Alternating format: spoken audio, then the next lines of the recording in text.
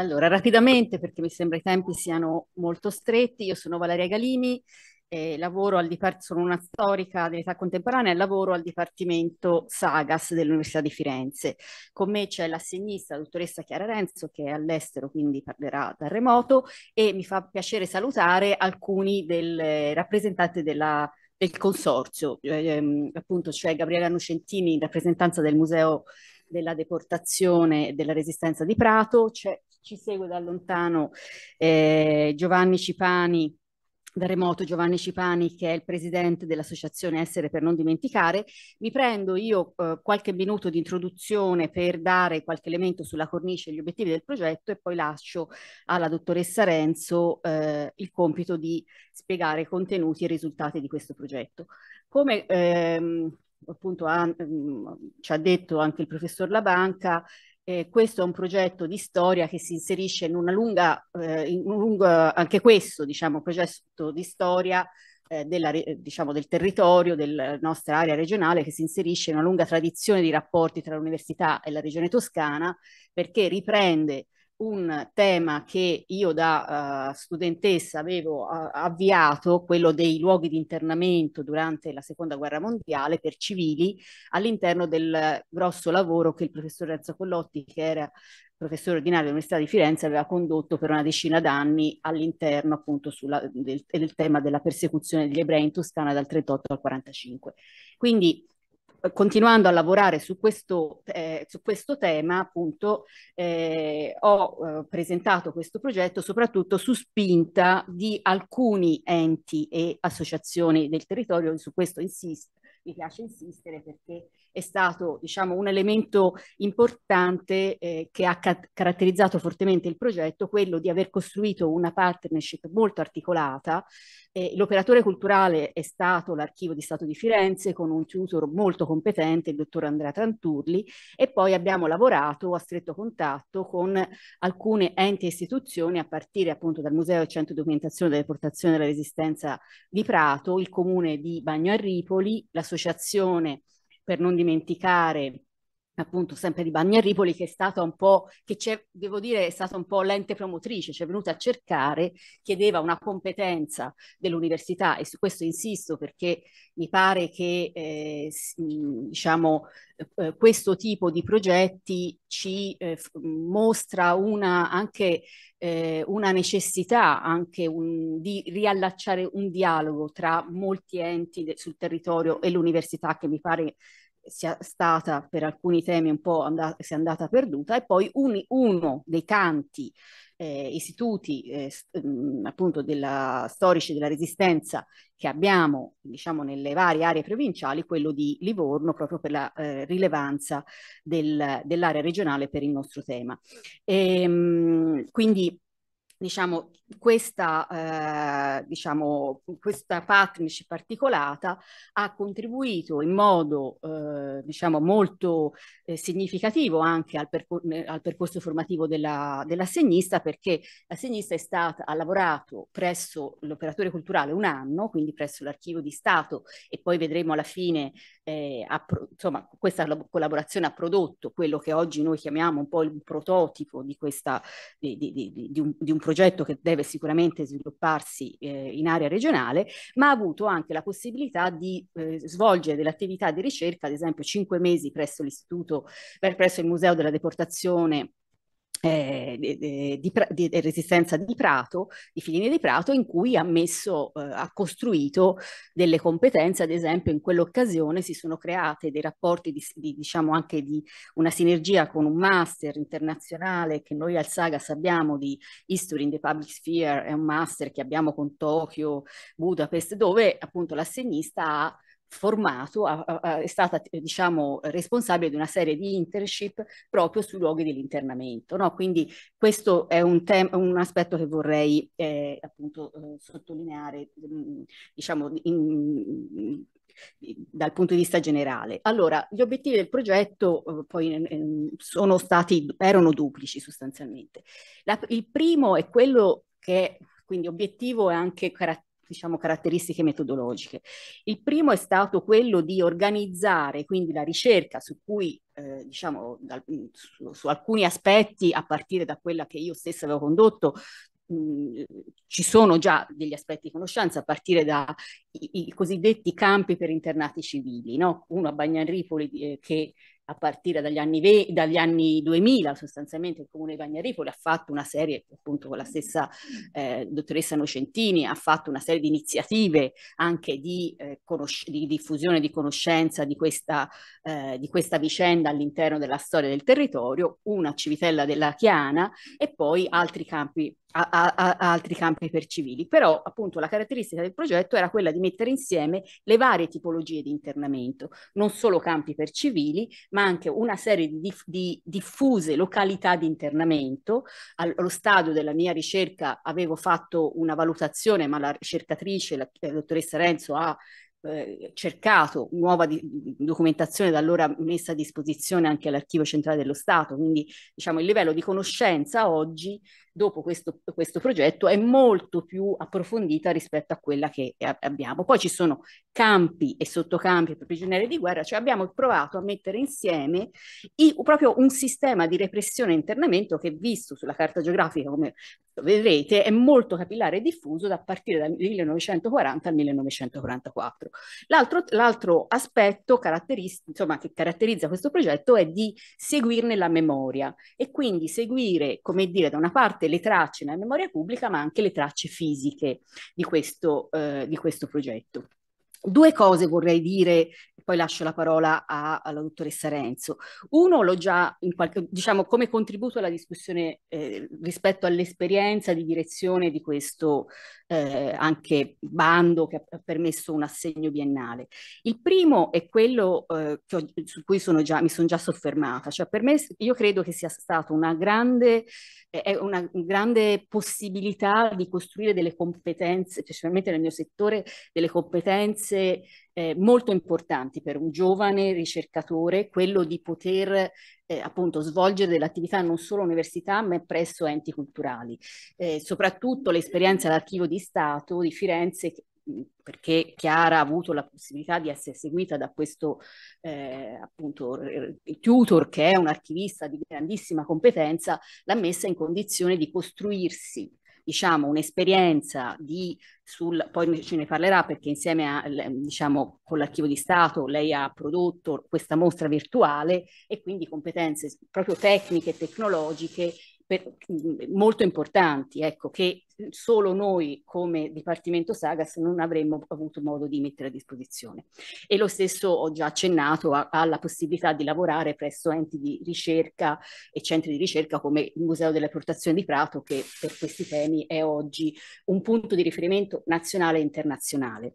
L'altro eh, aspetto che invece secondo me è un stato un po' critico e quindi come dire, il punto debole di questo eh, progetto, anche se sono molto soddisfatta appunto sia della, dei, dei, risultati, eh, perché nonostante la pandemia e grazie appunto alla collaborazione di tutti siamo riusciti a arrivare in fondo e a produrre appunto quello che ci avevamo, ehm, come dire, avevamo preventivato, è quello che è, è stato un progetto che finanzia,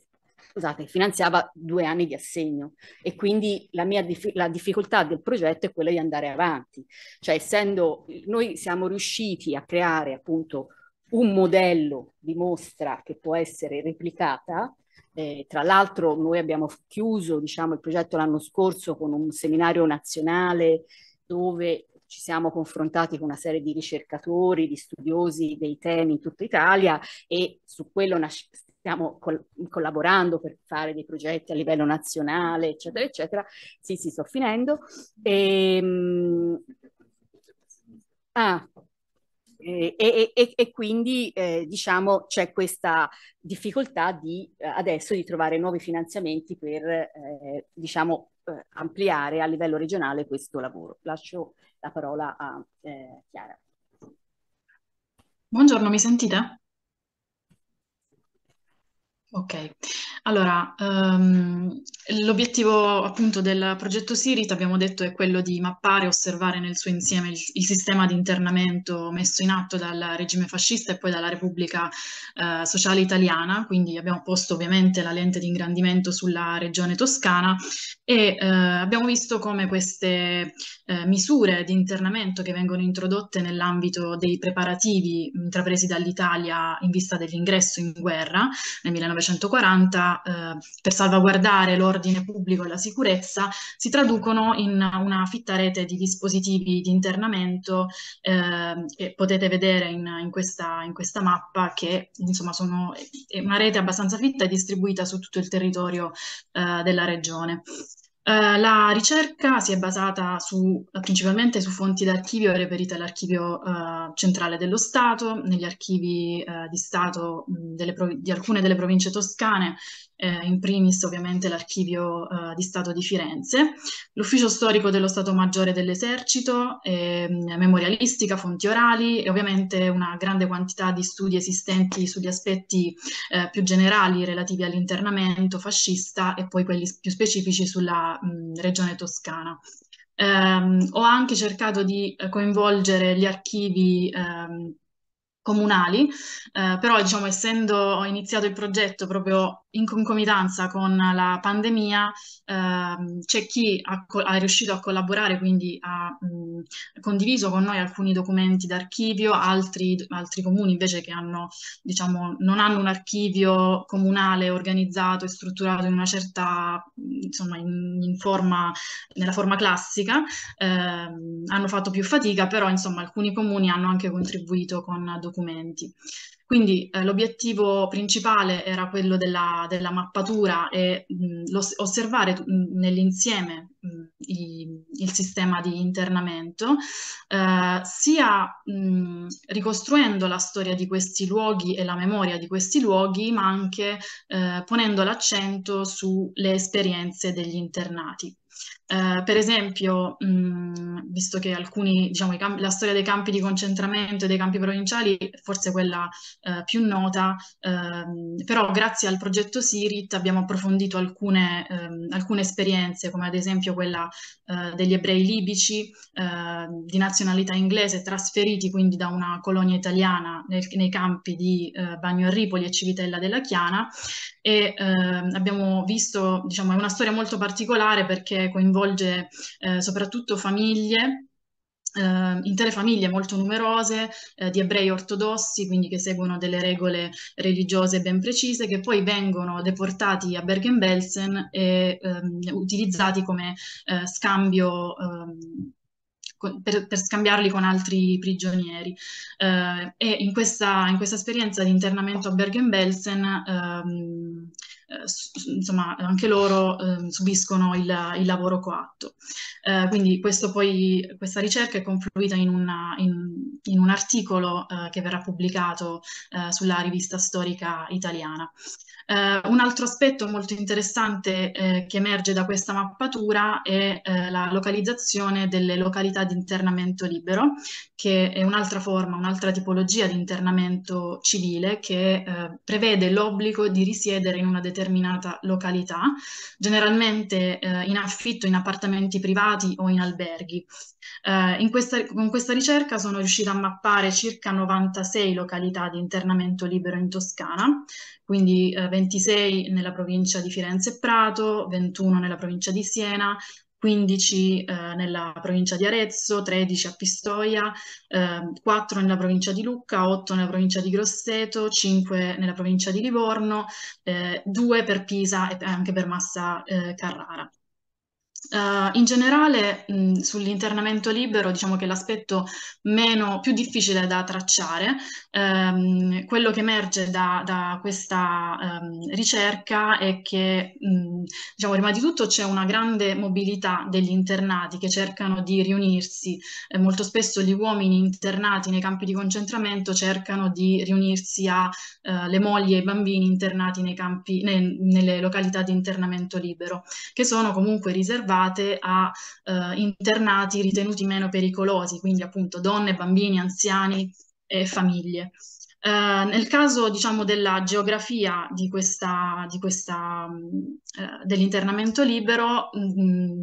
due criteri, cioè la, veniva gestita in base a due criteri. Prima di tutto ehm, la lontananza di queste località da zone considerate militarmente interessanti e la disponibilità degli alloggi. Eh, per fare degli esempi, eh, da un lato, mh, per esempio, c'è la provincia di Livorno che è considerata militarmente importante, quindi eh, il prefetto di Livorno già nel 1940 dice che non è indicato ehm, internare ehm, soprattutto elementi che sono politicamente sospetti. Eh, nelle province di Arezzo, Firenze e Siena ehm, vengono messi a disposizione decine di ehm, appartamenti, soprattutto privati, eh, per, che vengono dati in, in affitto ehm, e quindi adibiti ad internamento eh, di, eh, insomma, per l'internamento dei civili. E eh, per fare diciamo, un esempio ehm, opposto rispetto a quello ehm, di Livorno, eh, possiamo mh, citare per esempio il caso delle località termali, per esempio eh, a Montecatini Terme risultano internati 910 eh, anglo-maltesi e 160 greci, quindi si va da, piccole, da piccoli gruppi che possono essere due o tre internati fino a 20, fino ad arrivare a numeri così importanti in base alla disponibilità soprattutto degli alloggi. Eh, in parallelo all'internamento dei civili, in Italia, l'Italia procede anche con l'internamento dei prigionieri, quindi in, queste, in questa mappa vedete anche eh, le località di internamento eh, militare, alcune ehm, insomma ehm, non, non, riuscite proprio a, a, vederle dalla mappa, però eh, diciamo dal 1942 in poi ehm, eh, i campi per militari sono quello di Candeli, quello di eh, Villa eh, Villa La Massa a Candeli, quello, il castello di Vincigliata, il convento di eh, San Romano nel comune di Montopoli Valdarno. E ne vengono poi aperti eh, degli altri, come quello di Villa Ascensione eh, a Poppi in provincia di Arezzo, quello di Laterina e poi un altro in provincia eh, di Lucca e insieme a uh, questi campi ci sono anche dei campi um, uh, molto vicini agli snodi ferrovi ferroviari in modo da... Sì, in modo... Ok. Eh, quindi questa è la mappatura dei campi eh, militari. Eh, se è possibile eh, passare alla slide successiva, eh, quello che mh, mm, abbiamo fatto, insomma, è un po' riassunto in questa slide le cose principali, eh, tra le varie, mh, i vari eventi, le, i vari seminari che abbiamo organizzato e sui quali non c'è il tempo di soffermarmi, eh, vorrei semplicemente, mh, mm, diciamo, invitarvi a guardare eh, la mostra online, l'internamento eh, civile fascista nelle province di Firenze e Prato, che è stato, ehm, che è visibile sulla, sul sito del dell'Archivio di Stato di Firenze, è una mostra virtuale che è pensata per uh, divulgare eh, una parte della ricerca ad un pubblico più ampio ed è pensata anche come uno strumento didattico, eh, quindi ha un uso uh, più ampio. Um, eh, ci sono ancora delle pubblicazioni eh, che verranno presto eh, pubblicate e la nostra, mh, diciamo, mh, la nostra intenzione è quella di continuare con questi due eh, progetti. Da un lato la pubblicazione di una guida ai luoghi dell'internamento in Toscana, sempre pensata per un pubblico più ampio, in modo da raccogliere questi documenti e le storie che siamo riusciti a ricostruire da eh, questa ampia mh, gamma di documenti che è, è insomma, mh, disponibile adesso rispetto insomma, a quando è iniziata la, la, la ricerca un po' di anni fa e eh, la, una pubblicazione invece di carattere eh, scientifico eh, per ehm, riflettere sui temi chiave ehm, relativi eh, insomma, attorno all'internamento fascista. Mi fermo.